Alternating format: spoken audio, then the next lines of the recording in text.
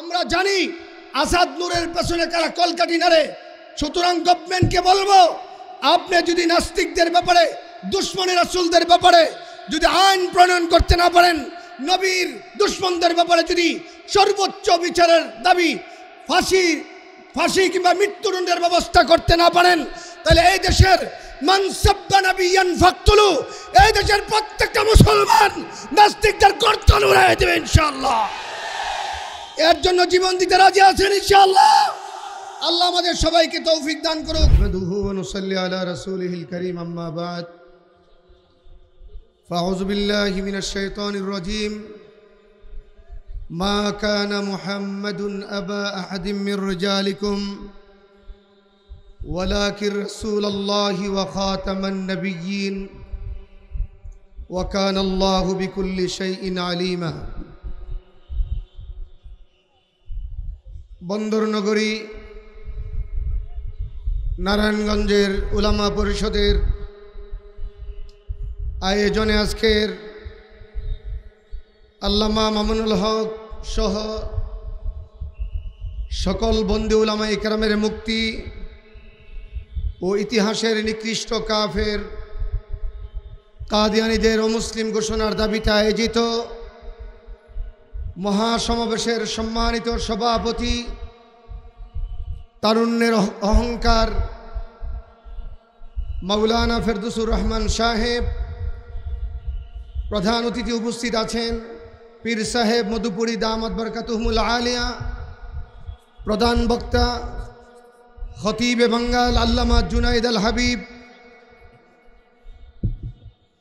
DIT হুজুরের আগমন আল্লামা আব্দুল্লাহ সাহেব, হুজুরের আগমন। নারায়ে তাকবীর। আলহামদুলিল্লাহ, আমাদের আজকের প্রধান আলোচক আল্লামা আব্দুল আওয়াল সাহেব, পীর সাহেব ডিআইটি হজরত চলে আসছেন।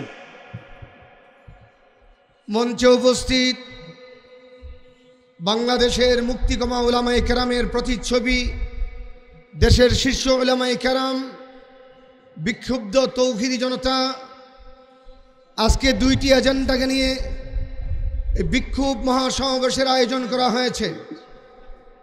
প্রথম এজেন্ডা আল্লামা মামুনুল হক সহ কারাবন্দি উলামা ইকরামের মুক্তি। এটা হচ্ছে আমাদের নাগরিক অধিকার। দ্বিতীয় এজেন্ডা ইতিহাসের নিকৃষ্ট কাফের কাদিয়ানিদেরকে রাষ্ট্রীয়ভাবে অমুসলিম ঘোষণা করা। এটা হচ্ছে আমাদের ইমানি অধিকার। আমি গভর্নমেন্টকে আজকের এই মঞ্চ থেকে পরিষ্কার ভাষায় বলতে চাই, অনতিবিলম্বে আল্লামা মামুনুল হক সহ, মুফতি মনির কাসিমি সহ, বন্দি উলামাই কেরামের মুক্তির ব্যবস্থা গ্রহণ করুন। নতুবা নারায়ণগঞ্জের এই বিক্ষোভ সমাবেশ শুধু নারায়ণগঞ্জ পর্যন্ত সীমাবদ্ধ থাকবে না। ছাপ্পান্ন হাজার বর্গমাইল বাংলাদেশের প্রত্যেকটি পারতে পারতে ছড়িয়ে পড়বে। আর এমনটা যদি হয়, সেদিন আপনি পালাবার পথ খুঁজে পাবেন না। দুই নম্বর কথা আপনাকে বলতে চাই, অনতিবিলম্বে দেশের ষোলো মুসলমানের সেন্টিমেন্টকে বুঝে কাদিয়ানি কুত্তাদেরকে অমুসলিম ঘোষণা করেন, প্রতারণা করেছেন, প্রতারিত হয়েছি। খতমেন ওয়াদ ব্যাপারে আমরা আর আপোষ করতে চাই না। এখানে আল্লামা মধুপুরি আছেন খতিবে বাঙ্গাল আছেন আজিল হক ইসলামাবাদী আছেন ডিআইটি হুজুর আছেন, মুফতি শাখাত হোসেন রাজি আছেন ফেরদৌসুর রহমান সাহেব আছেন। উনাদের নেতৃত্বে প্রয়োজনে প্রত্যেকটা কৌমি সন্তান খতমের জন্য কলিজা ছিঁড়ে দিতে রাজি আছে ইনশাল্লাহ সর্বশেষ কথা বলতে চাই, সর্বশেষ কথা বলতে চাই, কাদিয়ানিরা তাদের ছত্র ছায়ায় বাংলাদেশে অনিসলামিক যত কার্যকলাপ হচ্ছে সবগুলার মূল হুতা হচ্ছে কাদিয়ানি শৈতানেরা এই আসাদ নূর আসাদ নূর কাদিয়ানিদের মেকিং করা কাদিয়ানি তাকে তৈরি করেছে। আসাদ নূরের কোনো দোষ আমি দেব না। এই দোষ বর্তমান শাসক গোষ্ঠীর।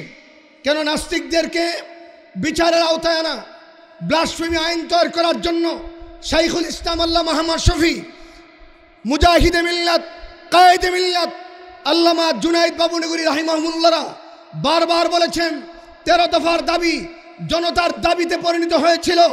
আপনারা কর্ণপাত করেন নাই, একজনকে আপনারা শাস্তি দেন নাই, বরং যারা রসুলকে প্রত্যক্ষ, পরোক্ষ কটাক্ষ করেছে, তাদেরকে সিকিউর করেছেন। পশ্চিমা দেশে তাদেরকে আকর্ষিত করে ওই দেশে পাচার করার ব্যবস্থা করেছেন। আমরা জানি আসাদ নূরের পেছনে কারা কলকাটি নারে সুতরাং গভর্নমেন্টকে বলব, আপনি যদি নাস্তিকদের ব্যাপারে দুশ্মনী রাসুলদের ব্যাপারে যদি আইন প্রণয়ন করতে না পারেন, নবীর দুশ্মনদের ব্যাপারে যদি সর্বোচ্চ বিচারের দাবি ফাঁসি ফাঁসি কিংবা মৃত্যুদণ্ডের ব্যবস্থা করতে না পারেন, তাহলে এই দেশের